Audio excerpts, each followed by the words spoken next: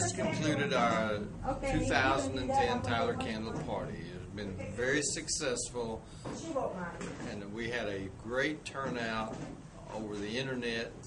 Our Tyler Candle representatives and everyone connected with putting this on. We want to thank our customers mainly because if it wasn't for our customers, we wouldn't be here. We, we just love our customers. They came in. We had an overwhelming of orders online, which is absolutely out of this world. Uh, we again want to thank all of our customers who came to the shop and that always come over and over and over. Uh, we just, it, it's just hard to, to try to say it in words how much we appreciate all that they do for us. Because if it wasn't for our customers, we would not be here. If it wasn't for Tyler Candle, we would not be here.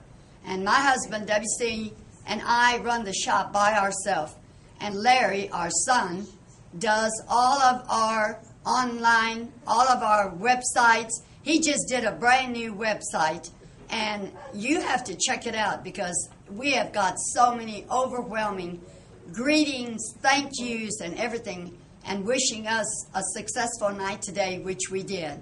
And I want to thank my two sisters who were here, Paula and Rita, and my really good friend Belinda, and Lissy, who is our Tyler rep. He is the greatest guy. He does anything for you. And also for Andy, who is our next door. She runs the cookie shop next door, and she came over and helped us out. I cannot thank you, all of you girls, and Mark for all, and Larry, our son, for everything that y'all have done for us for a successful night. We're going to do it again, maybe in the spring this time, and he'll change it up a little. But I love Christmas, so we will probably do it in Christmas again. Thank you, folks. Thank you, customers. Without you, we wouldn't be the Prague Market. Thank you again, and have a good evening. Well, thanks for everybody watching, and we'll, we'll do it again next year. Thank you.